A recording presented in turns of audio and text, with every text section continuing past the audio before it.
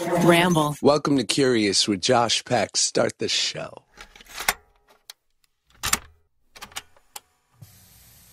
Guys, what's up? Welcome back to the Curious Podcast with me, Josh Peck, and you, the listener. What do I have to say? Not much. You know what I mean? I'm not going to bore you today with one of my long diatribes full of self portent mishigas.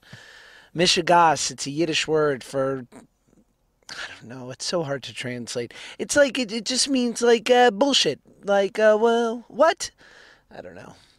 How is everyone? Are you guys good? It's Thanksgiving, the week of Thanksgiving. So you guys are probably stressed out, traveling, going to see the family. That's always an opportunity to to create some new resentments and to awaken some old ones. You know, right? You got uh, you got far enough away from your family, enough time passed where you said, "Ah, I'm, I'm over that." You know, that cousin of mine that always seems to phrase her questions a way that feels like she's like attacking my life's choices. Uh, she's not that bad. Or my dad, who was actually not really around when I was a kid, who tries to act like that never happened and, you know, be in my life now. Well, I'm, you know, I'm I'm over that. I'm past it. But you get there. And the first couple hours are okay, maybe.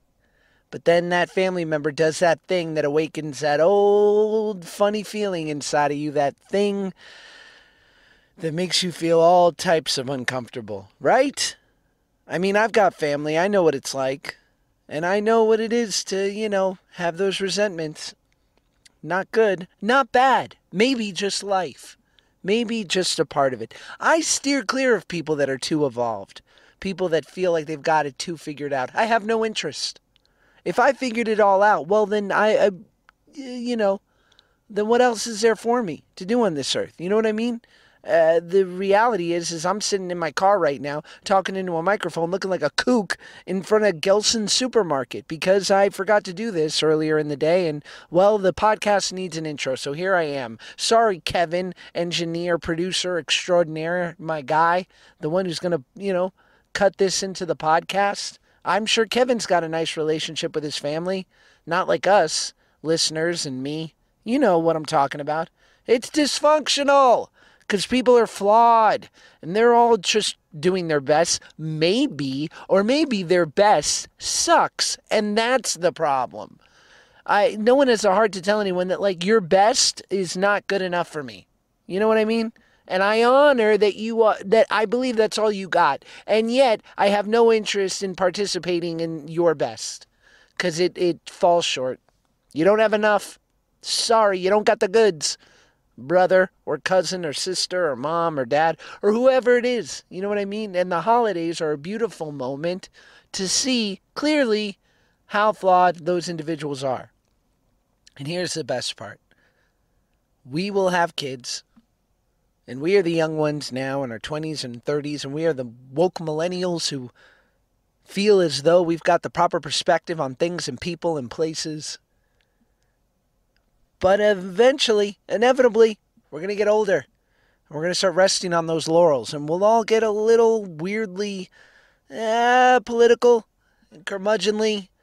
We'll start having strong opinions that aren't necessarily based in anything uh, logical but they will serve us because they're convenient and we're used to them. And they we've you know they they afford us some sort of comfort in this crazy cruel world. And then our kids will be looking at us the way we look at our parents and the people around us. And then we'll be those kooky weird 60 plus folks maybe 70 eh 60 you know and then we'll become them. But you know what? We'll be too old to care so fuck it. So i i i say bring it on I say the more the merrier. Let's go. Let's do it. You know what I'm saying? I can't wait.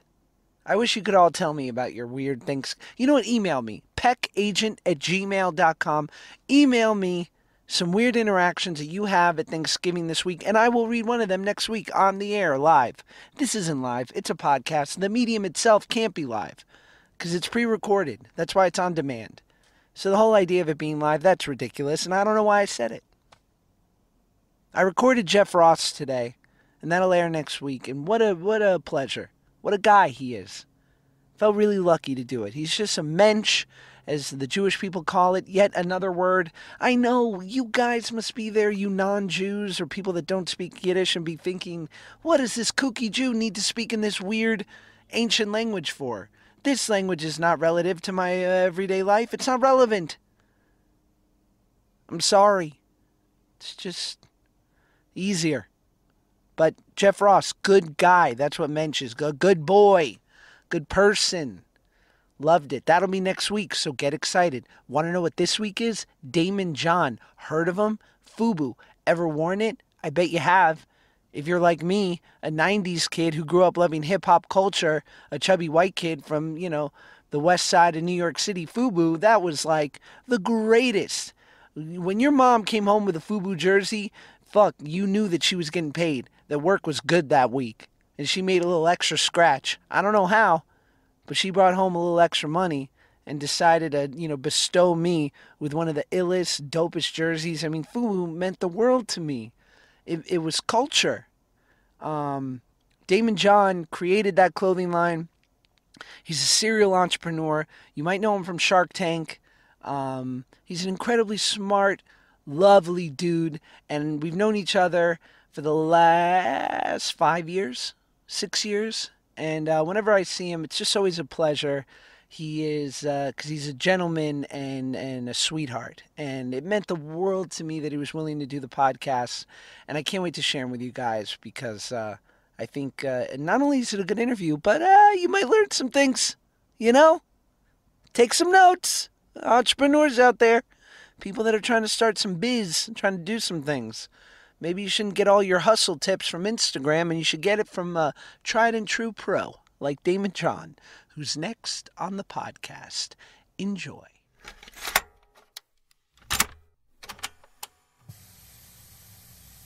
Love it. Good? Cool. Can can I say that I can't believe we're friends or kind of friends? If you want, I, yeah, yeah, I, I, I kind of love it. yeah. We don't talk often. That's all right. We, we should.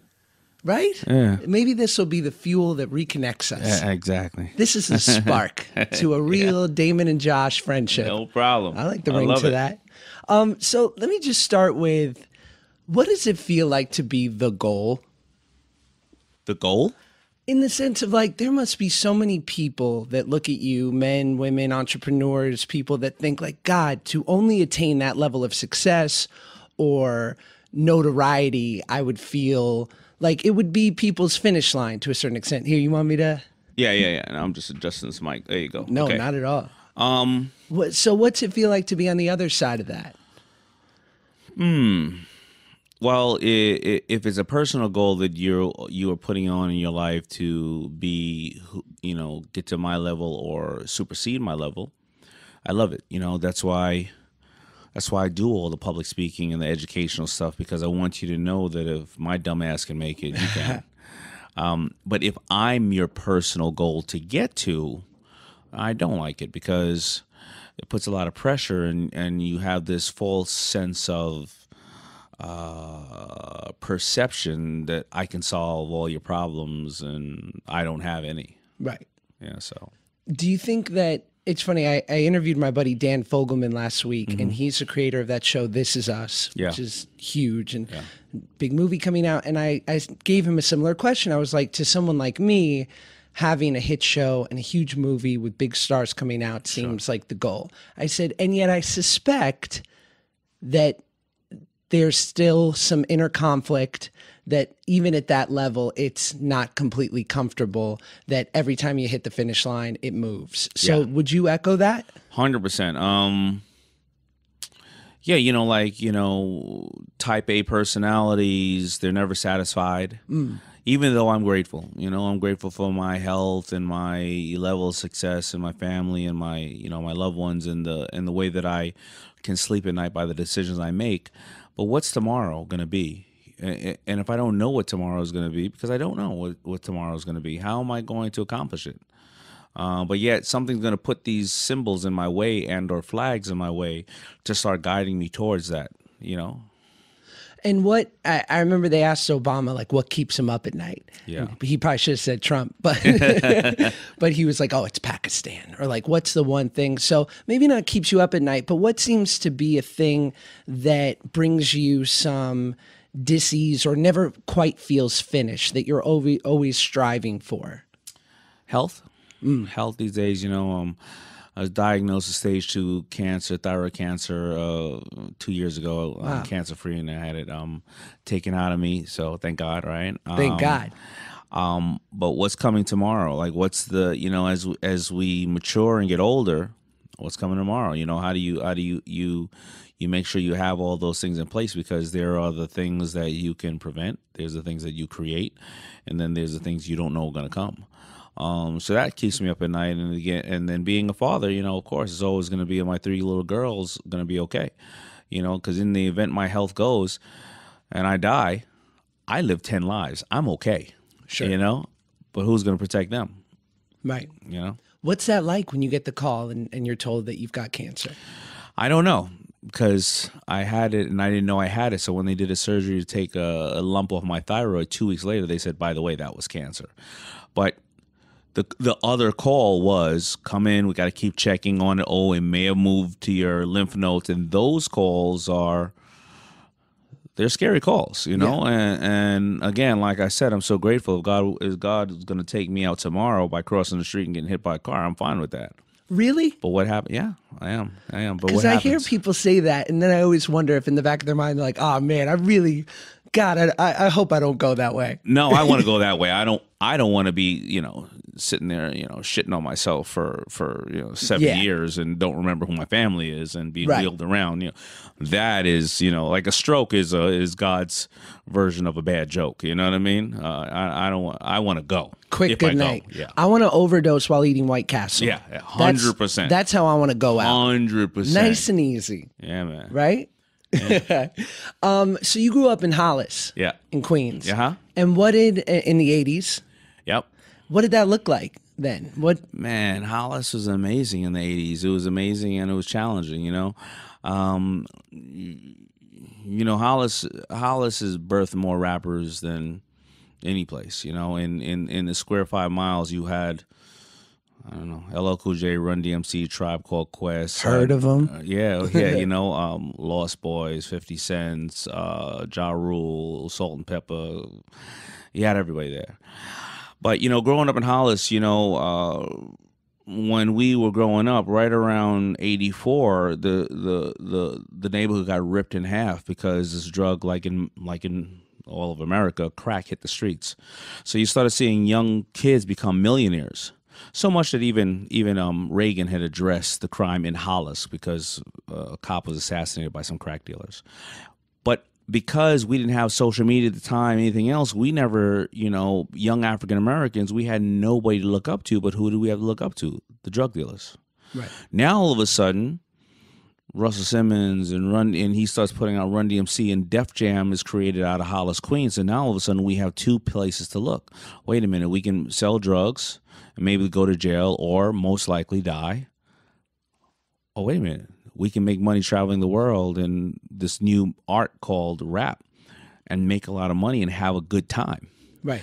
So the neighborhood got split in half. And we started, you know, and I, I went over to the rap side going, I want to dress these people, you know? And did you, of course, never asking you to implicate yourself, but like, was there ever a temptation to go to that quote unquote easy money side, like sort of the darker side of the force? You know, if you ever watched the movie Belly, that was made about my friends, um, and uh, they were all drug dealers. And, and a funny story is, you know, at the age of about uh, 12 or 14, I had one friend, he said, I want to be big in music. I had another friend who said he wanted to be a big graffiti writer and maybe, you know, videos were out at the time. And another friend said, I want to be a big drug dealer. And I said, I want to be head of fashion. So fast forward to when we were 30, it was me, said I want to dominate fashion at Yeah. 12 years old. The kid who wanted to be a graffiti writer and director was Hype Williams. The other kid who wanted to dominate music was Irv Gotti. And the other kid who wanted to be a drug dealer, Hype Williams made the movie Belly about the drug dealer who's still in jail. So we all hit our, you know, our goals. I was never tempted to be a drug dealer because um, You know, most of the drug dealers went to jail. I was really cute and really small. I didn't want to go to jail because I didn't want some, you know, 400 pound guy, you know, making me wash his underwear. Fair. So I decided I'm not going to Yeah. do that. Didn't want to take a tour of beautiful Rikers. I was not man enough. No. Man, I'm first of all, what was in the water at Hollis that all your closest friends became like titans of industry? You know what I think? I think it's, I think it's, we got to look up at Run and Russell and all them, and we got to set our goals on what we saw was closest to us. yeah. And that was infectious, right? Because Run DMC would go on and put five people or ten people on from the neighborhood, and then then LL Cool J would put five people, and not just rappers. They would be a bodyguard, they would be a producer, a director, or whatever the uh, engineer, and these people keep going. So it just was infectious, you know. You know, it's funny. I I grew up in, in Hell's Kitchen in the 90s. Mm-hmm. And so it wasn't the Hell's Kitchen it was in the 70s. Right. But it was still, you know, slightly seedy and whatnot. And having the domineering Jewish mother I had, there was just never a chance that I was going to start fucking up to, you know, some, Right. some youthful hijinks at best. Say, you know, you same, have the same? Same with me. You know, I used to break dance. Um, Okay. and I was pretty good. I was pretty good at it. What's pretty good? Are we talking windmills? Are we talking No, no, no, like- pop. I was, I was, Oh, I was, just I, pop. I was, I was, I was a good popper. How was your top rock? I, no, I was ill. I was ill with that. Okay. yeah, yeah, I was kind of ill with that. Excuse me. But uh, I remember I got a chance to audition for Whodini to go on tour with them, and my mother said, "Hell no! What are you talking about? You're 16 years old. You're not traveling the world with some band named Whodini." And you know who took my place? Uh, some Jerry Hurl, Jerry curled head kid named Jermaine Dupri from Atlanta took my place on that tour because my mother wouldn't let me go out and you know you know, uh, you know, go on tour. She ruined it. I could, I could have been a drug addict at uh, 18 by the time, you know. God, thanks a lot, mom. Yeah, same here. So, what was your family dynamic like growing up? Just uh, you know, uh, my mother and father, you know, uh, got got a divorce when they were when I was 10, so I would never see my father again or speak to him after that. My Wow. my mother raised me, um, single mom, and then my stepfather, who I love, came into my life uh, about uh, 16. My mother and him never got married, but he happens to be of the Jewish faith. Okay, Um, good people. Yeah, he was- he was Some- good.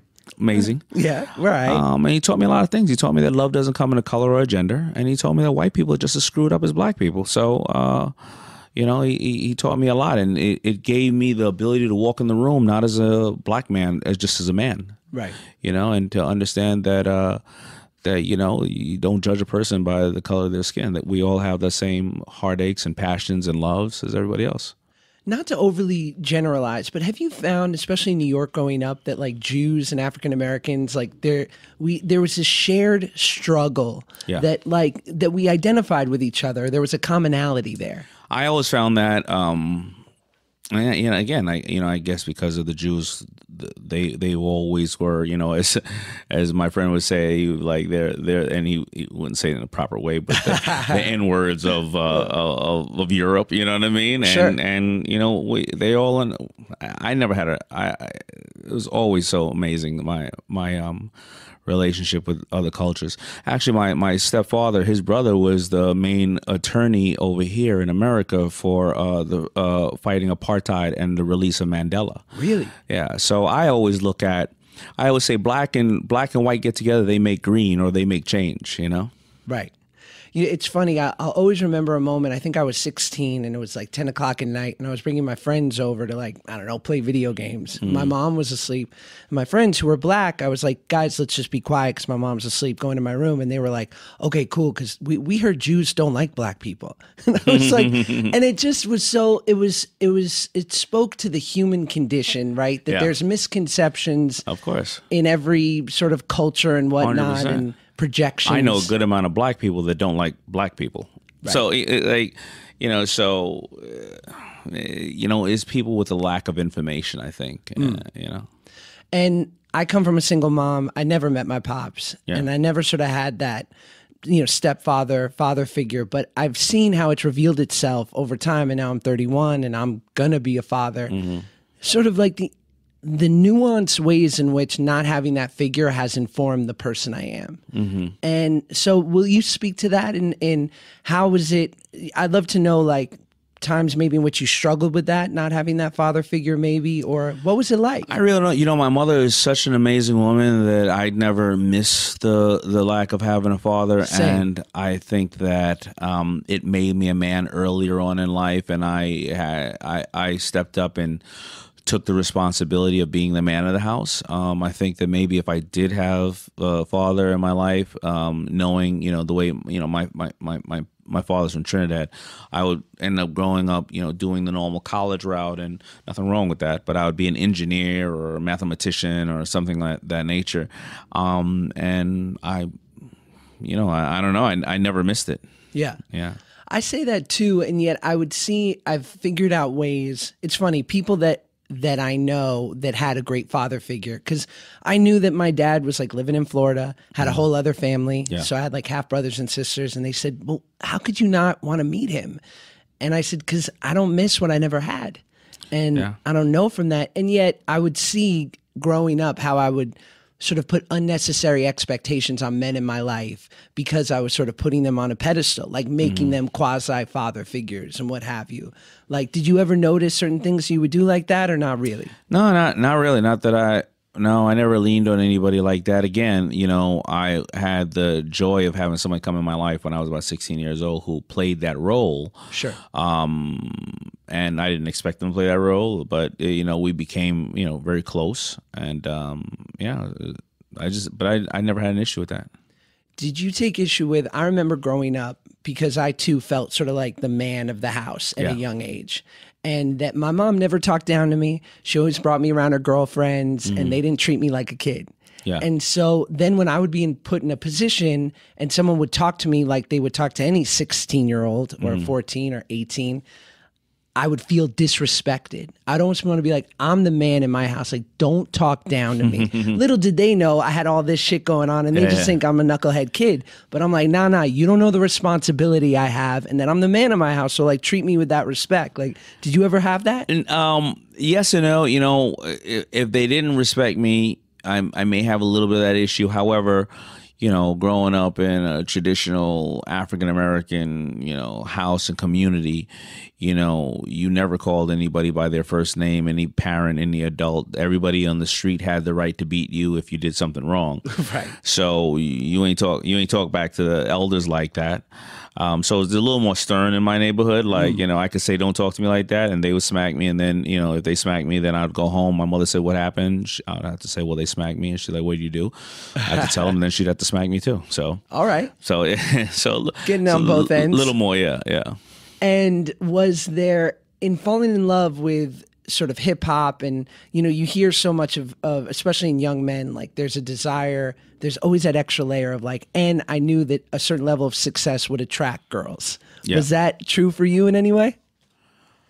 Well, it, no. So it wasn't true in the regards to a certain level of success will attract girls. Uh-huh. It was in regards to why I started the company was to attract girls. Oh, it I wasn't. see. It wasn't at the further end of it. It was at the beginning end of it. Really? Because I need to go to video sets, and everybody was getting kicked off of video sets. But if I would be able to be on video sets and holler at all the video chicks, then you know, so I would have the T-shirts and say, "Well, I have this T-shirt here. It's I'm I'm styling the the artist, so you you can't kick me off sets. I couldn't care less about styling the artist. All I all I want to do is holler at the video girls. God bless. Yeah, that's it. Does that ever go away? No, it doesn't. I mean, think about that. Like, you know, if, if the women weren't around, we wouldn't have, you know, we wouldn't have cars anything else. We'd just be naked eating beef jerky, man. There would be nothing else to do in life. Word. I I did this movie about breakdancing with Chris Brown and don't I know you're looking at me like what were you doing in that movie? but and I remember it was me and like 20 other b-boys, like the best b-boys in the world, and we were shooting for a month but just us guys, and it started getting weird on set by week two. Like, too many dudes without any female influence. We're like nothing- farting, there's nothing like else to talk talking about. shit. Yeah, People are getting into shove matches. Yeah, it's just nothing else to talk about, man. Yeah, it's too much. Um, so, what was your first foray? When did you first take your leap into creating something for your own line? Like, what was the the tipping point? The It was moment? 89.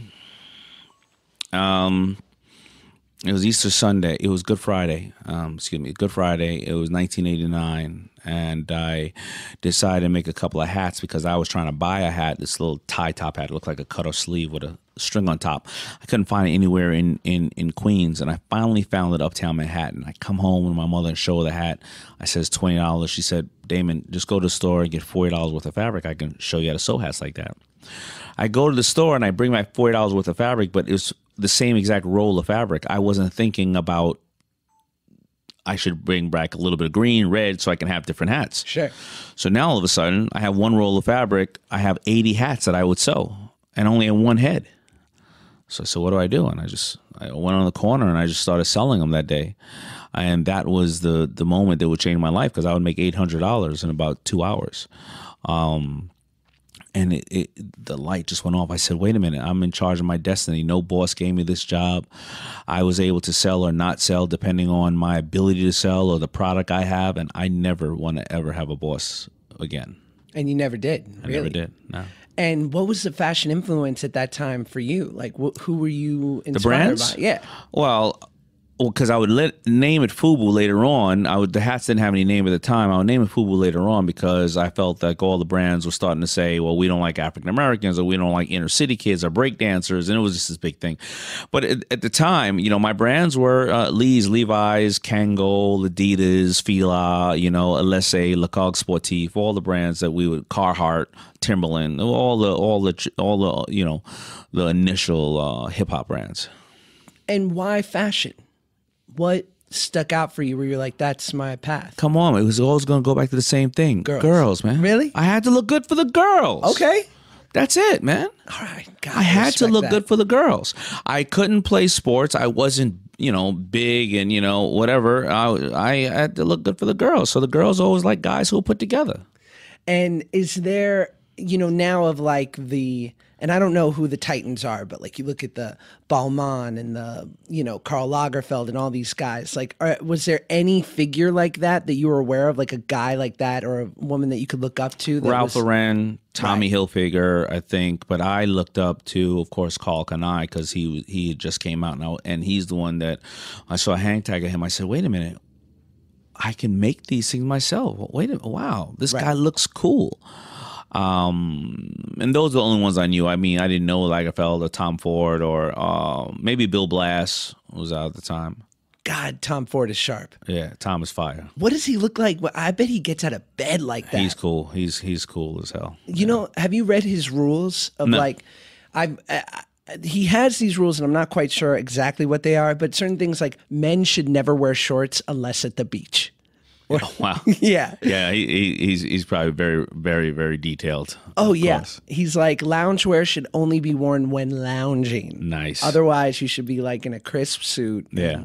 yeah. Uh, he's fly. Yo, he's crushing it on another level. Shout out Tom Ford. But is he happy? Uh, so uh, I do want to talk about the quick detour of a side job that you took in a Red Lobster because I want to know everything about that. What's that? Red Lobster? Yeah. I want to know what it was like working there because the Cheddar Bay biscuits are fire. They were fire. And I want to know about the ins and outs of the lobster who is red. Tell me everything. Yeah. So, um, you know, that really gave me my training for to be a businessman, a salesperson. Um, the biscuits, I hated them. Really? Yeah. Why? Because people come and ask for them and drink a bunch of water and leave. And be out. and be out. I'm No wait- tip? I'm waiting for a tip. No, but you get you get paid off the amount of food, you know, percentage of the food. But you just ate a bunch of biscuits and you bounced on me. Unacceptable. Unacceptable. So, um, but you know, it taught me so much. You know, it taught me that you know that they would they would uh, give us bonuses or incentives for add-ons. So they basically said, you know, you don't make money off the steak, you make money off the dessert, the appetizers, and the liquor. I would understand that later on going on in my business. You don't make money off the expensive coats, but but every brand we make more money off of jeans and t-shirts than anything else. I don't care what design you've seen or anything else. We make money what we call margin builders off of t-shirts. I learned, uh, you know, um, how to, you know, they would cut down the wait staff due to the flow of people coming in and out, you know, with, with within an hour. So I learned how to reduce my cost and, you know, in business. Also the managers, you know, you know, listen, on, on, on Valentine's Day or Mother's Day, the cook always quits. I love All it. right. They, they, they'd be like, yo, I'm done. Too many orders. We got 300 people coming in and I'm done. And the manager would have to flip his tie back or her tie or whatever she's doing and get on the grill, get on the dishwashing. And I learned that, you know, a true boss is supposed to jump in at any and every point. This is a corporation. So imagine if you're an entrepreneur and it's your business. Right. Right. So there's so many basics that I've learned or the or the shrimp scampi when they reduced it from 11 shrimp to 10 shrimp, nobody missed it, but they saved like something like 7.8 million dollars. Right. So these are the things that I would end up learning and retaining moving into, you know, the my, my business career as an entrepreneur. Is there any one story at Red Lobster in particular that sticks out in your mind that you'll never forget, like Kitchen Confidential style? One story that I w- would also go is that the small things in your business are the ones that kill you, right? So it's the it's the small losses that you take. And I would remember that there was this one. Well, I, I got two stories. Well, one of them was that they would always take the shrimp, the boxes of big boxes of shrimp, and they would call it the G run, throw it out and throw it into the garbage. And they would drive the the cooks would drive around, get the shrimp out of the garbage, and go sell it to the Chinese restaurant for hundred dollars a box. Great. So they must have been stealing thousands of dollars worth of food. So you got to watch whether in your company right now. Don't leave the supply cabinet open because whether they're trying to steal or not, but the people are taking home the pens and the paper for their kids doing, uh, you know, schoolwork and stuff like that. Don't don't rent these. Well, not anymore with Uber, but you used to get these, you know, these these car services, and people go to dinner and have these car services out at night all night. Before you know it, these small things eat up four, five, ten percent of your your margin, right? right? And so I would learn that about theft, what we call a leakage. Also, I would learn how to, no matter what, you have to be really, really nice to somebody handling your food. Yes. Because don't complain until you are leaving. Right. Because I have seen, we used to play football with somebody's steak in the back if they were really a nasty person. That's mental. There was a really nasty waiter, I remember, and he would always, you know, somebody was treating him bad at the table, like, you know, like snapping their fingers and being a real jerk. He would say the best thing to spit in is blue cheese or Thousand Island dressing because you just stir it up and they don't see the bubbles. See, I think ranch, but that's how nuts I am. Yeah, your ranch is yeah. ranch is not a winner. Right. you know, ranch is good. Anything because you need you need substance in it, so you need some lumps in it. So in case mm. you blow your nose with your fingers in it. Oh, this is gonna. I'm not gonna eat for days, David. I'm gonna have nightmares after this. I'm letting you know. His name was Judge. Judge, listen. God will judge Ju- inevitably. Yeah, Judge was not a nice person. Yo, uh, that's my biggest fear. I, it must happen less, but I imagine like in the '80s at Red Lobster. That's why I like going to Houston's and those places where the food is right there at the counter. You're seeing them prepare it, but they can still do something bad to it. But just don't don't mess with your waiters and waitresses until they, you know, but isn't it so telling of people in general how they treat others in the service industry? Because I feel like that's very. If I'm with a friend who like thinks it's okay to be rude to yeah. a wait staff person, I'm like, no, this is very like it says a lot about their character. Yeah, because they're they're the person that believes because you're in this position, you're a less of a person than they are. When there's a lot of people who are waiters who are just feeding their family and they're happy what they do because they don't want to take their job home with them. Right. I know a couple of people that work in uh, Miami at some of these restaurants. They're making one hundred fifty thousand dollars a year as a waiter in Prime One Twelve. You go out to that restaurant, they're making a lot of money. Yes. And they don't take their job home with them. Nobody taps them on the shoulder at night and says, "Can I get some more tartar sauce?" So they have a, you know, and they could have some. They could be investing in a, you know, in mutual funds or whatever the case is. And you turn around, they got more money than you do, but yet you're talking to them like they're less of a person. A person who takes a position, nobody's ever less than you. Right. Do you so what then becomes like the moment where you're able to what was the next step after after the hats? Well uh, well of course i would i would go back and i would i would uh, get t-shirts and then then embroidery shirts but i would close the company three times from 89 to 92 because i would run out of capital. A thousand five thousand whatever the case is but uh, people who had already purchased stuff would say, "Man, where are you? I missed this stuff. I've been looking for you. Can I get another this?" And the business would keep calling me back. Mm. It would keep calling me back, and then I would start to say, "I like what I'm doing. No, I love what I'm doing. No, I would do this for free if I could." I'm finding so many other ways. I feel I feel wanted or needed. I feel like I'm validating myself. Um, and and that would end up happening. And that that's how I would grow the company. As I was saying, uh, as we opened up, you never know what what things are going to be put in front of you to to guide you to where you're going to go. And you had a um, sort of endowment from your mom, right? Like she gave you some of the funds to start the business. Well, we had a house, and um, and I would um, I, I would I would pay the mortgage just like she would, and I the story is that I started in '89, but in '96 or 95 it culminated to the point where I took my trip to the Magic Trade Show, the the the fashion show in Las Vegas and I would write $300,000 in orders. And now I came back and I went to 27 banks and they all turned me down to finance the orders. And my mother said, "Well, we have some money left in this house or in this house and if you really have these orders, let's take a risk and take the money out of the house." And then once you sell the clothes, you'll put it back in the house. So my mother goes out and gets a hundred thousand dollar loan on our house. I have no idea how because the house is worth seventy five. So I didn't ask her what she did for the rest of the money. Fair. But You, know, probably don't want to know. I don't want to know, and we, uh, you know, uh, that's why. So it was what we would think would be a safe bet. I would end up going through the money trying to manufacture and, and learning a lot of mis- and having a lot of mistakes. I would end up later on doing a deal with Samsung to manufacture and produce my clothes, but I would have ended up lo- losing the whole hundred thousand dollars. I would have lost the house. Amy Schumer presents Three Girls, One Keith. Lets you be a fly on comedy's filthiest wall. Each week, Amy joins her friends and fellow comedians Bridget Everett, Rachel Feinstein, and Keith Robinson for candid conversations about sex, culture, and stand up comedy. It's your typical hard hitting educational roundtable, except with reoccurring segments like Okay, Now I'm Horny. With the help of songs, games, and special guests, Amy and her friends explore their very singular, very not safe for work perspectives on the world. Get your mind into the gutter with comedy's greatest girl gang, plus, well, Keith. Stream the all new second season of Amy Schumer Presents Three Girls, One Keith, now on Spotify. Let's get back to the podcast. So, was it terrifying in that moment, or you just had such blinders on that you weren't really considering the idea that it wouldn't work out? Blinders, blinders, because I had hundred thousand dollars. I never even heard of hundred thousand dollars at that point, and Yeah. that was more money than I can ever imagine having. And of course, I can make all these clothes, no problem. Um, but you know, some very expensive mistakes happen, and um, I would end up turning around and realizing I only have five hundred dollars in the bank, and three months later on the mortgage. My mother would say to me, Daymond, you know, we got to do something. So she said, I have an idea. And she took out a ad in the New York Times, and it said something like, um, million dollars in orders need financing. And 33 people would call that ad. Uh, 30 of them were loan sharks but three of them were real, and one was Samsung's textile division, and they they were like, "Hey, uh, we can finance these uh, orders if you if you really have these orders. They're by legitimate stores, and they were."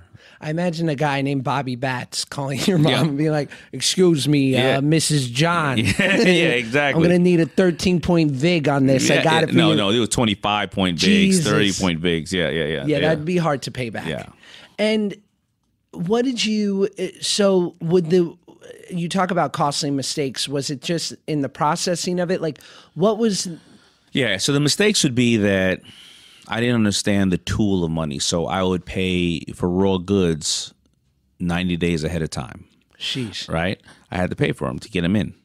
I'm paying for salary and staff of people who are making the clothes. I, I turned my house into a factory, right? But then also, I didn't realize the stores don't pay you for 30, 60, and 90 days. So it was floating the capital. Mm. I was a bank and I wasn't a bank, you know? So it was just the floating of the capital. So just too much money coming out, not enough coming in. Yeah. And you spoke uh, uh, before to sort of the the basis of where the name Fubu came from. But what was when did you create the name? When exactly? Um, I don't know. I probably could have created it in 1990. It was just in my basement hanging out and drinking 40s. You know, we're like, yo, let's call it for us, by us. Nobody loves us. Okay. I, I think it was right after Timberland had made a comment in the New York Times saying, we don't sell our boots to drug dealers. And at the time, everybody in New York wore Timberlands. We wore them like Jordans, right? And, you know, we just got tired of hearing nobody likes rappers or nobody likes whatever. I mean, they didn't say black people. They just said we don't sell our boots to drug dealers. Now, I guess they were thinking all people who loved hip hop, because Timberland was the boot of hip hop, were drug dealers, and that's not the case. So I said, when's gonna somebody gonna just love the people that they sell to? And that's that's how For Us By Us came up. Was it a light bulb moment, or just over time you were like, "Damn, that was a good choice"? There's a light bulb moment, but the light bulb no, I never thought it was a good choice because once I did my deal with Samsung, I wanted to change the name, and they were like, "Why?" I was like, "I don't like it." They were like, "But it's a good name." I was like, "Ah." And I realized you don't know what a fubu is. Is it the poo poo platter at a Chinese restaurant? Fubu? Is it Italian? Is it whatever?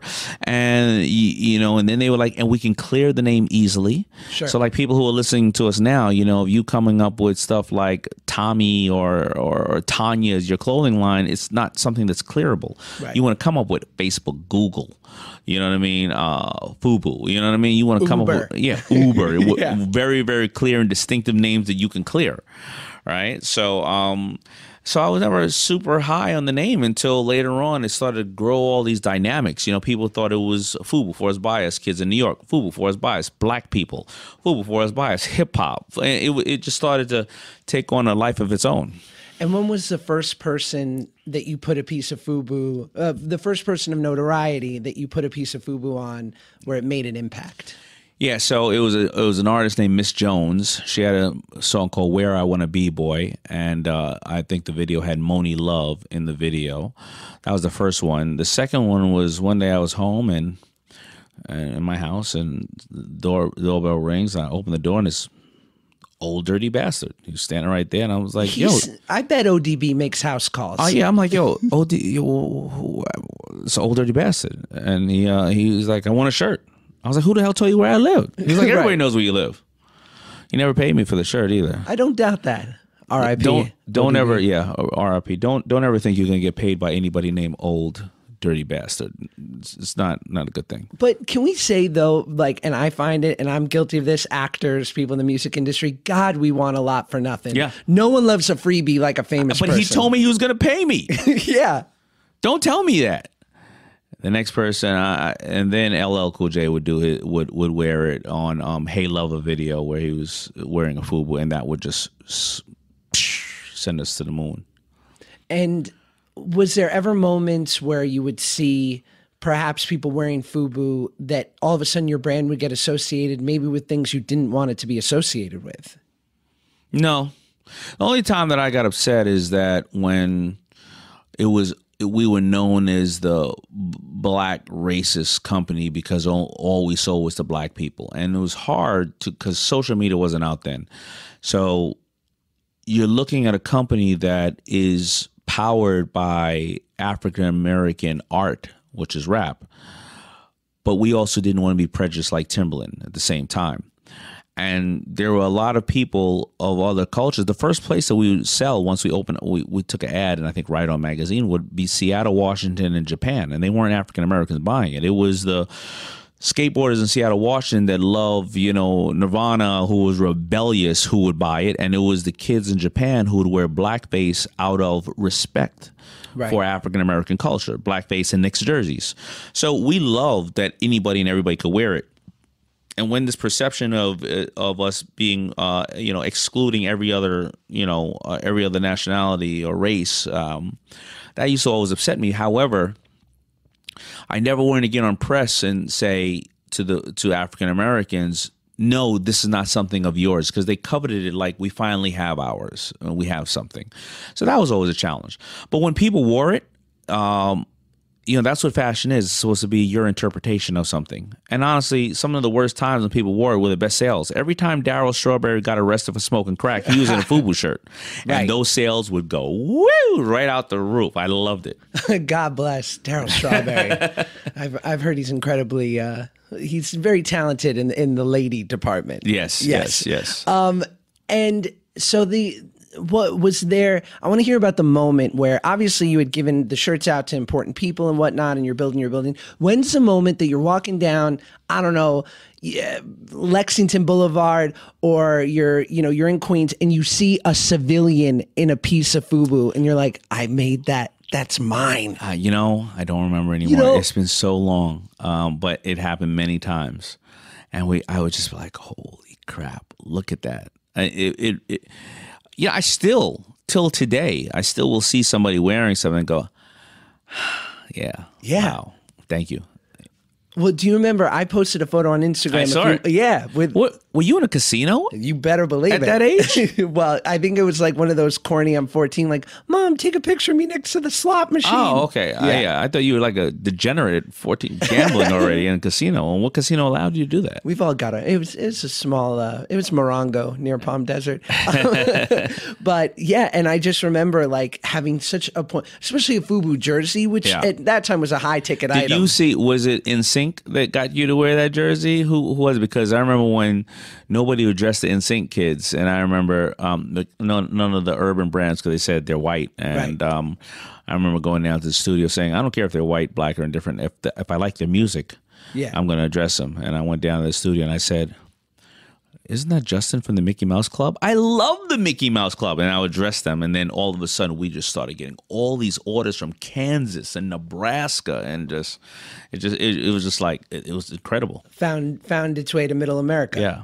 It's funny. I grew up, you know, 13, and I would go to in New York, go to A and S Mall, mm-hmm. and on the fourth floor, A and S Mall was like this store called Hype or something, Uh-huh. and it had Phat Farm and Enyce and Fubu and Pelle Pelle, Uh-huh. and you know, I grew up in hip hop culture. It's what I loved. And so, like, the first time I could buy like a legit piece and not like a bootleg Tommy Hilfiger Right. uh, collared shirt from the Jamaican dude on the corner, Uh-huh, uh-huh. I was I was stoked, and it was a point of pride. So, and especially a high ticket like those jerseys at the time. Yeah. I mean, those were like over a hundred bucks. Yeah. definitely. Yeah, and I they was were, like, they were expensive. so that that only came out during nice casino trips. You know what I mean?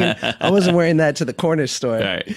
Can you like distill two or three moments that were like touchstone moments for the company that where you hit like certain level of millions and then hundred millions and then eventually billions? Uh, yeah, I mean, it was when my deal with Samsung was to keep my distribution deal, I would have to sell $5 million worth of clothes in three years. And I remember them saying to me one day, I was like, you know, do you think we're going to hit this deal? You know, you know, it was, it was a couple of months in. They were like, I think so. You you sold thirty million dollars worth of clothes in three months. I didn't I didn't realize how much we had sold. So that was like, holy crap. Wow. Um, Uh, another time was when we would um, be asked to literally, literally sit in the Macy's windows. And you know, as a designer, you want your clothes in the Macy's window. I was sitting, you know, we were sitting in the Macy's window with television cameras from like Channel Seven in New York or whatever the case is, and I was like, okay, this is the real deal. And then, uh, you know, the the time when we got off the plane in South Africa and we, we were opening a store there, and there were just thousands of people in the street, you know, to see the FUBU guys actually get there. I was like, who are they here for? You know, and, um, and then we were there, and at the time, Mandela had already uh, went out of office. But uh, we met the president of South Africa, and then Mandela called us and said, "I want, I want to, co- I want you to come meet me." Madiba? Yeah, yeah. Are you yeah. kidding? So what the- was that yeah. like? It's amazing. I mean, you know, you're meeting a piece, you, you're meeting a, a person who's changed, helped change the world, right? Um, and he knows who you are. Wow. Yeah. So, some really, really, really great times. And so you've got these moments and you're starting to accrue, um, you know, financial success and whatnot. Was there a moment in which you did you hit a certain number with personal wealth where you felt like I'm going to be all right? Like if nothing else happens from here, I'm going to have enough to probably survive the rest of my life. Or does that moment never come? Yeah. No, the moment comes, but when I made my first million, I never knew how poor I was until I made my first million. Sure. because by the time you pay, I paid off all my credit card debts and the old house, and then take care of a couple of you know bills here and there, give mom money. I had like a hundred thousand dollars left. Yeah. Right, you make a million, government takes four hundred thousand of it, so now you got six hundred thousand of it left, and you know, hundred thousand dollars. You realize you owe all credit cards and medical bills, and then you got five hundred, and you buy, you know, a modest car, and you know, make sure mom's good on the house. You're done. Right. So that that was surprising to me. Uh, later on, I'd blow about ten million dollars, and not understanding again not having financial intelligence. You know investing in the market when it was high as soon as the market crashed i was so scared i thought it would keep going down. I pulled the money out so invest in high and sell when it's low right?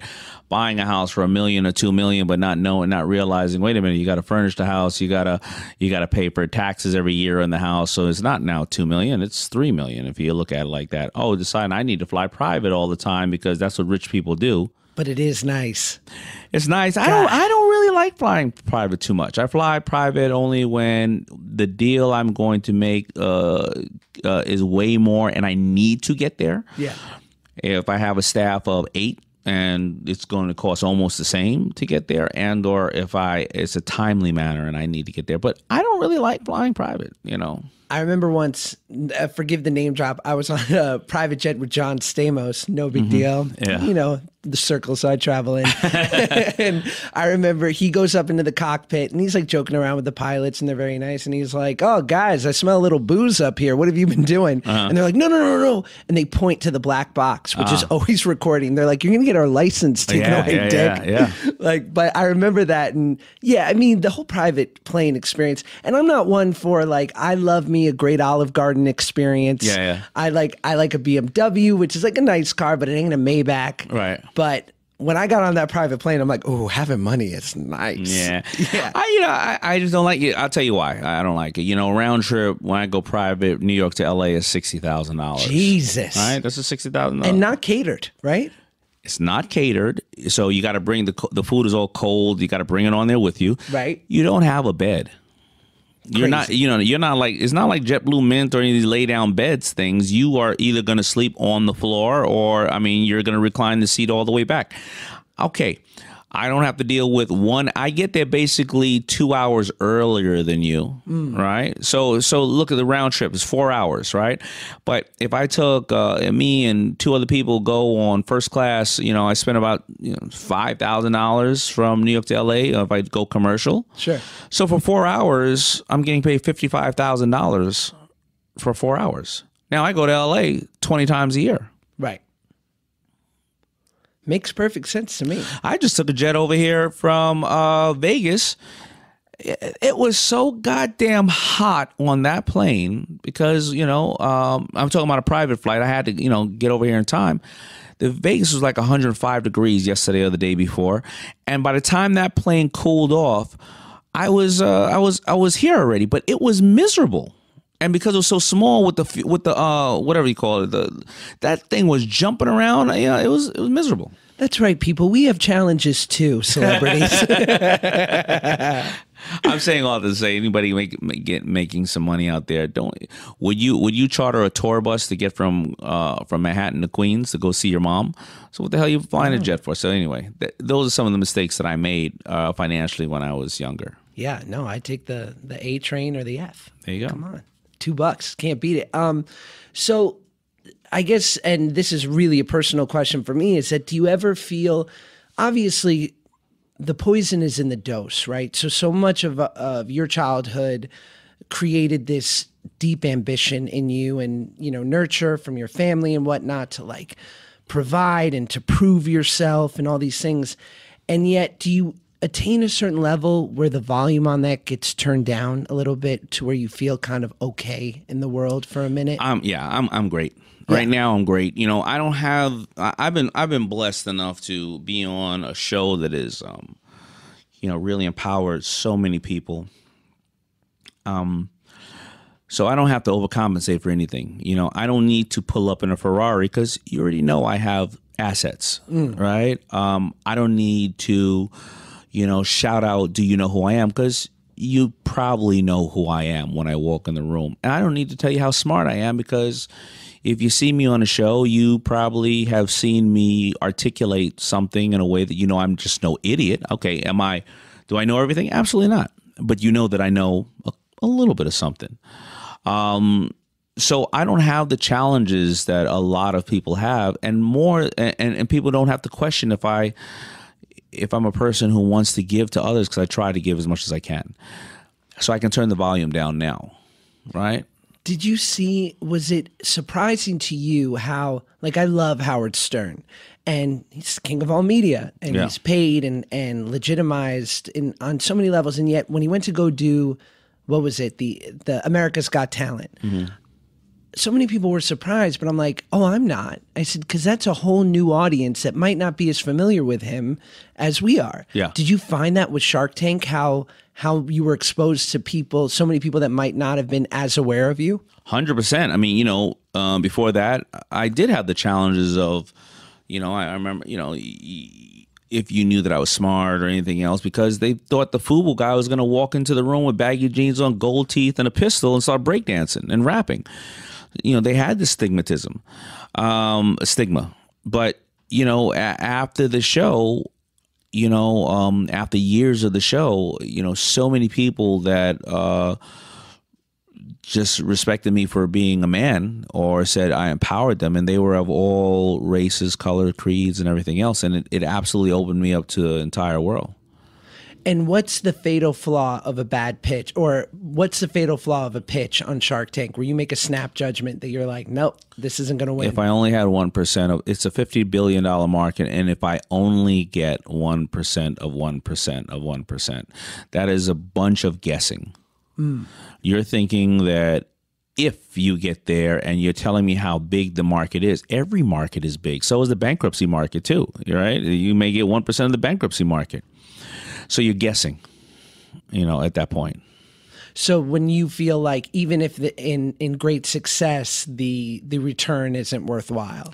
Yeah, and even uh, you know, also the opening up of uh, you know, hey, I'm so forth and so on. I want two hundred fifty thousand dollars for four percent of my company. That's the immediate. Okay, here's what goes off of my mind. Four percent.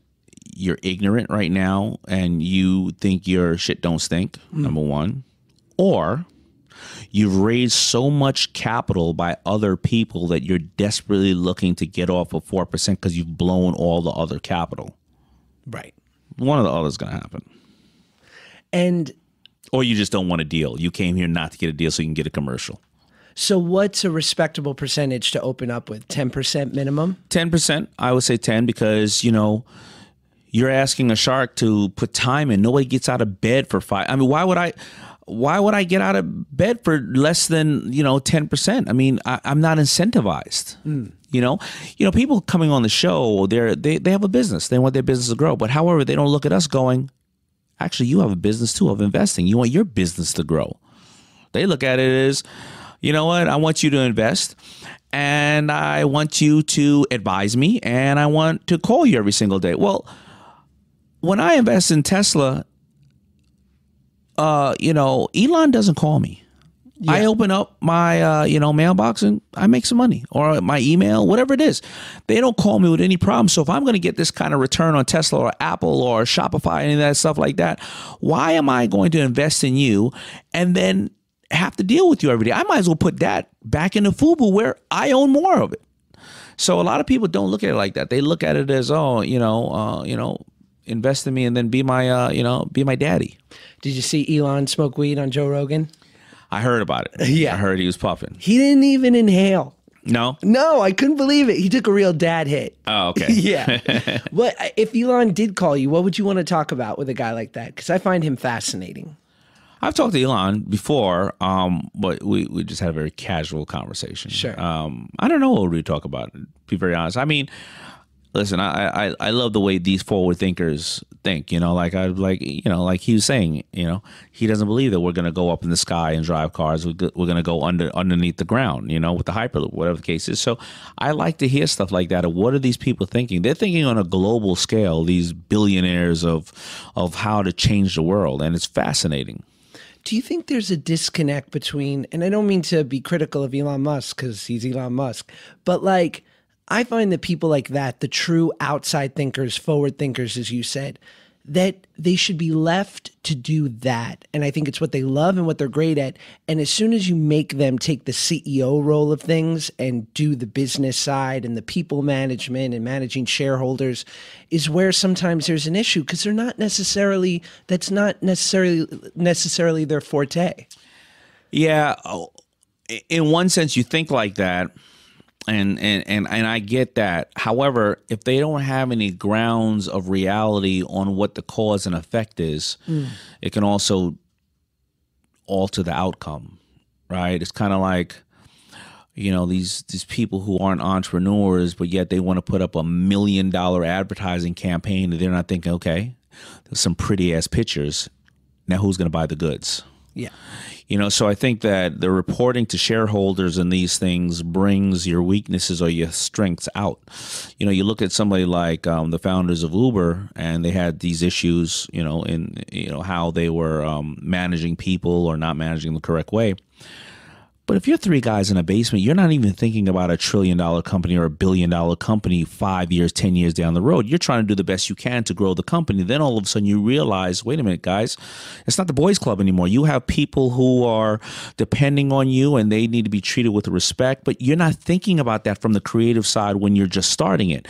So until, in, unless you bring people in to spank them and say, bad boy, bad girl, or whatever Yeah. the case is, you you you you don't get they they never come back to reality. So I think that, that you need some kind of constraints and things of that nature. You're just going to have tyrants running around who are unchecked, who are lying all the time, who, you know, are offending, uh, you know, other uh, allies and or disrespecting everybody in the country. I mean, I'm sorry, I'm, we're, we're talking about running. That's right, we're running a company.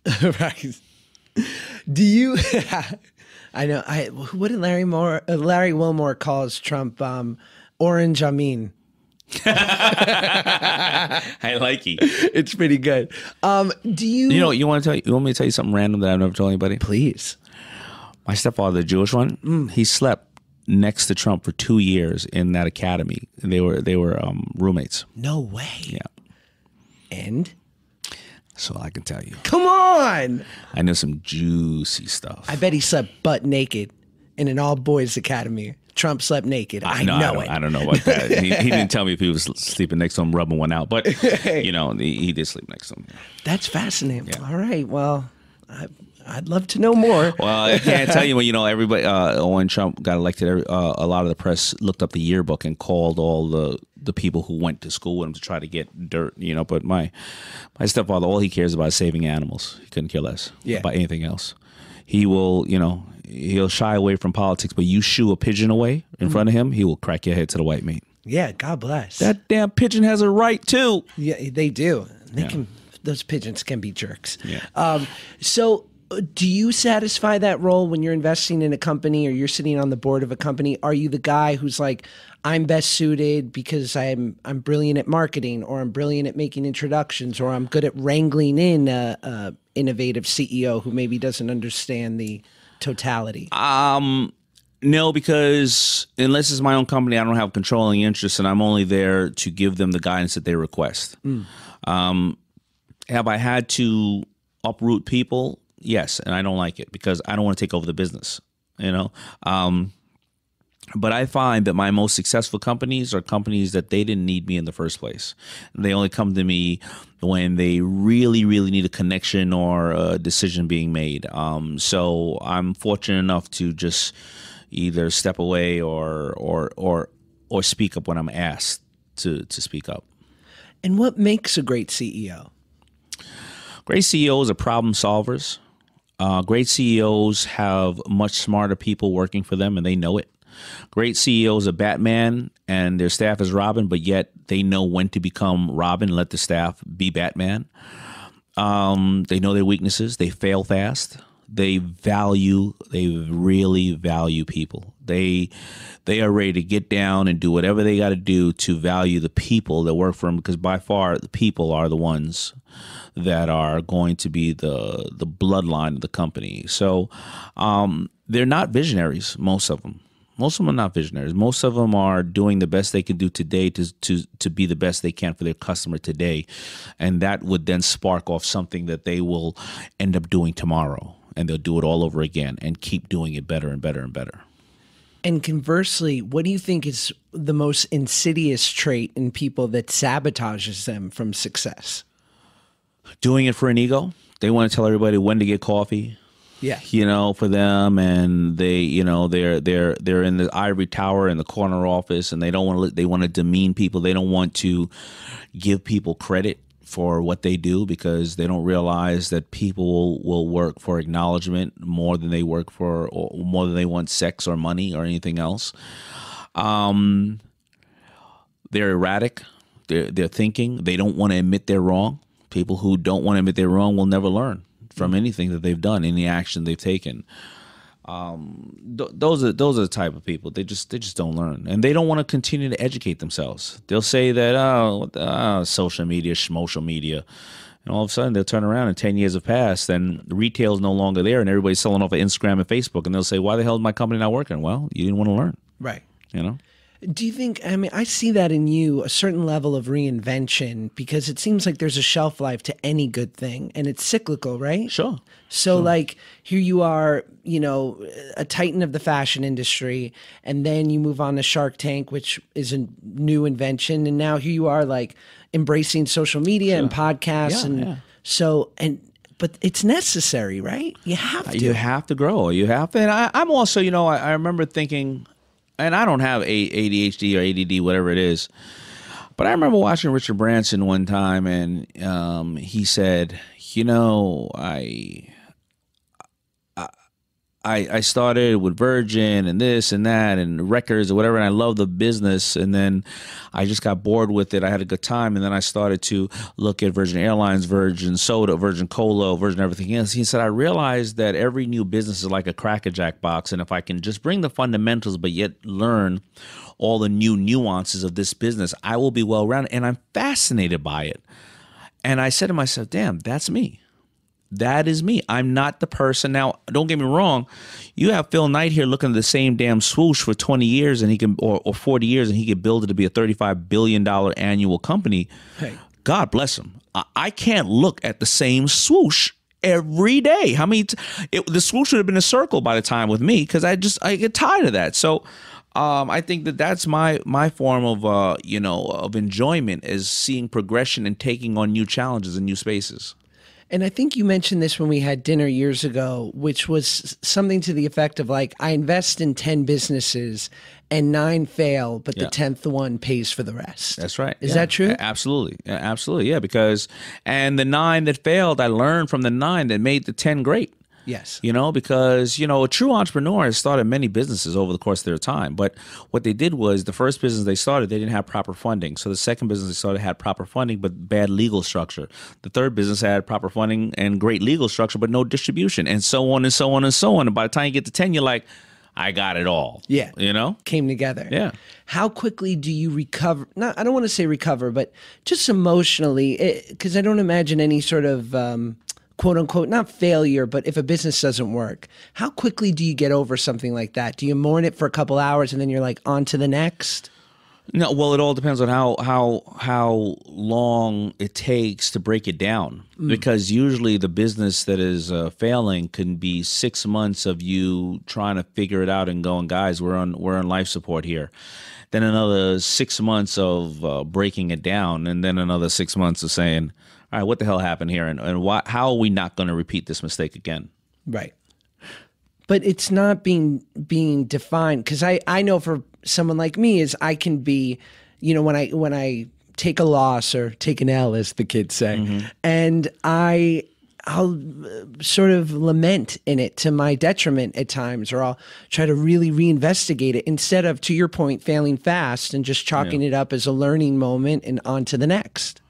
Yeah, I try not to. I mean, yeah, I mean, but listen, you got to lick your wounds, and it all depends on how much you had invested in it. Because if it was something for five years that you were trying and you wanted to do it five years prior, well, then you're gonna you're gonna suffer for five years after. Mm. So it all depends on how much emotionally have you committed yourself to it, and time wise, and how much your family's time was in it, and a lot of other things. And of, of course, if it's a big public loss, even when you don't want to think about it, other people are going to remind you, hey, whatever happened to that? They, they may not try to be negative about it. A couple of people will be like, yeah, what happened? Right. You, you, you know, everything was all fly, right? Yeah. But, you know, but we look at the, you know, we look at the people who are truly successful and they just keep, again, reinventing themselves and keep doing, you know, more and more and bigger and better. Any good Shark Tank stories that we didn't get to see on TV? Uh, they're always. I mean, because those pitches are an hour long, right? An hour, or it could be. Could I be, heard it's hot. And maybe just for the people pitching, but under those lights, I hear there's a lot more schwitzing. Yeah, yeah, It- and it- it- perspiration it can get, going It can on. get very hot. I mean, listen, you get you, you get five of us are drilling you. You're there for an hour, standing up underneath these lights, and we're we're, we're hammering you with with hard questions, and and you know, uh, and so so yeah. I mean, there's so many. Uh, you know, Barbara is a full fledged. People don't know this, but she's a full fledged pervert. I'm talking trench coat, lollipop, mustache. I'm talking I pervert. see She that. Mm. touches everyone. She doesn't care about color or gender. She'll touch every single person. Her husband's right there, like this. Oh God, stop. Equal opportunity handsy. Yeah, she will pinch everyone's hiney in the whole place if she had to. okay. Um, so she's always she's always crazy. Uh, I didn't know. We just have so many stories. I, I, I don't I don't even know which one, which one is. Uh, I can't even think of which one which which one is funnier or not. What's the fastest you've made an offer? I think the fastest I made an offer was a company called. Uh, it was it was a it was a cup company with it had a cavity in the bottom of the cup where you can turn it over and do shots out of the plastic cup like a solo cup. I think I made that offer in like twelve minutes. Was the fastest, yeah. And is there a part of you that that even if it's a great idea, are you also taking into account the personalities of the people? Because there's there is a life is too short clause in all this, right? Like this might be a great idea, but you seem like you suck. Like I don't want to hear from you for the next year and a half. plenty of times. Right? More than normal. Because listen, you have a great product. I'll buy one. Mm. I don't need to buy the company. I'll just buy one. Yeah. Right, so I'll buy one of your sponges. I don't like you. uh, I, I you, the other day, yesterday or two days ago, shooting now. I just, I tell somebody. I mean, every question we asked them was like a half an hour, you know, uh, half an hour answer. And, I- and I remember saying, I, "I'm sorry, I can't do the deal because I don't want to call you. I don't. I don't want to have to put on pajamas and get some Ovaltine every time I got to call you because you're going to talk me to sleep. I just don't want to do it. I don't have time for it. And and and I'll only ask you two more questions. I don't want to keep you all day, but what do you think of the? I know you know you're on Instagram. What do you think of this quote unquote hustle culture? And I'm not talking about your kind of hustling, someone that's actually made something of themselves. I'm talking about like when someone's doing some like motivation Monday.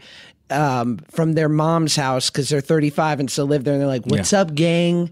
Just waking up for that next hustle. Keep yeah. it going today." And like, it seems like people just feel good to say it, and that's like all they're achieving. Like, Yeah. it's a weird culture in I- that I- way, right? I- and, you know, and I think that that's creating a bad environment because, and listen, we all know that everybody on Instagram is is showing only the highlight. It's a highlight reel, right? They're they're smarter, they're sexier, they're skinnier, they're wealthier than you when they are at home with their mommy, all right? But it, it's unhealthy you know, because you know, if you wake up in the morning and you know, I always tell people uh, due to my rise and grind book, like, don't open your emails for the first hour because the emails are only everybody else's problems. Uh, no emails are like, hey, you know that problem that we had last week? I solved it. I'm sending you a million dollars. You're never going to get that email.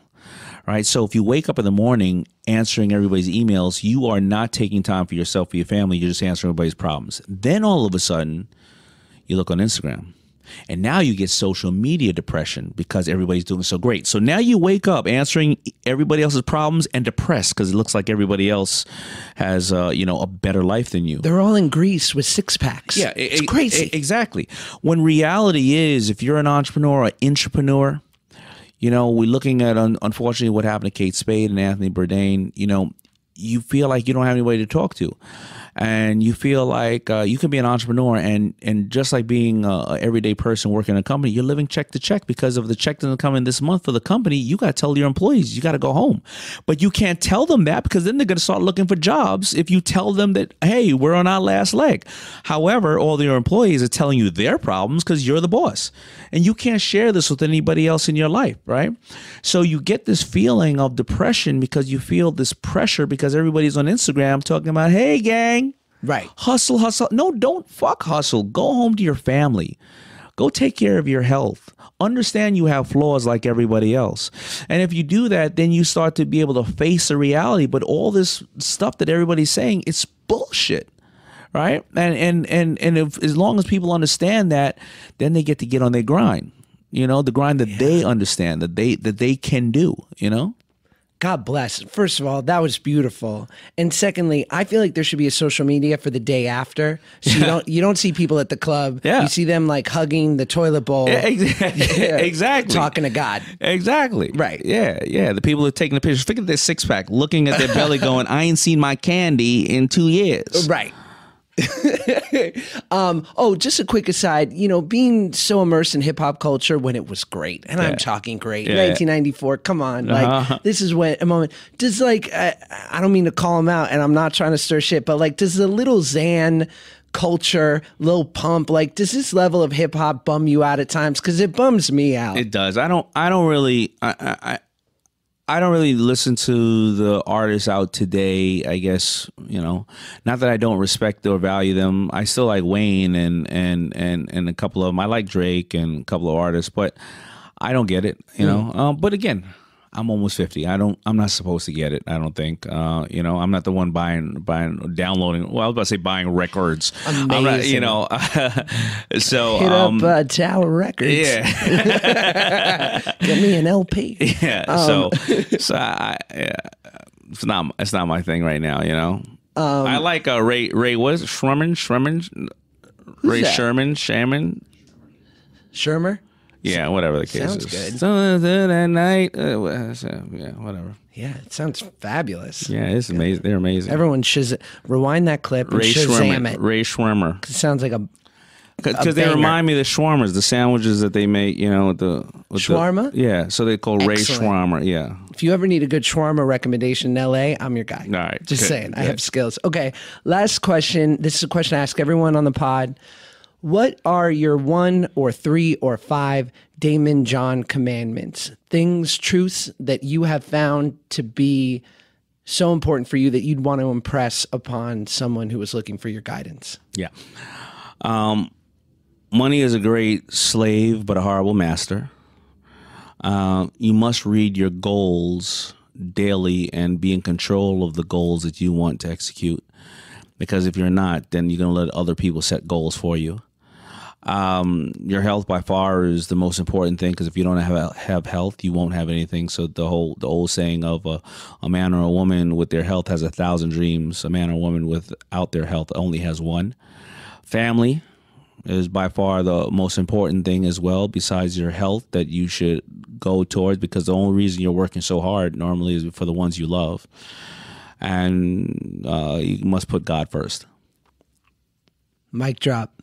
Uh, That's it. that's it. That's Thank what you so by. much for doing this. Thank you, brother. Appreciate it. Much respect. And by the way, Kristen was having an aneurysm when she saw you were coming in. Oh, thank you, Christian. a, a true fan. oh, thank you. Thanks, Daymond. You got it. Ah, that was it. That's the podcast. Daymond John, that happened. And now you're done with this, and Thanksgiving is either in two days or it's in a day, or you're listening to this on Thanksgiving while you're cooking. What are you cooking? Turkey is gross, in my opinion, but all the sides, all the accoutrement that comes with it, lovely. I mean, green bean casserole, yes. Stuffing, mm-hmm.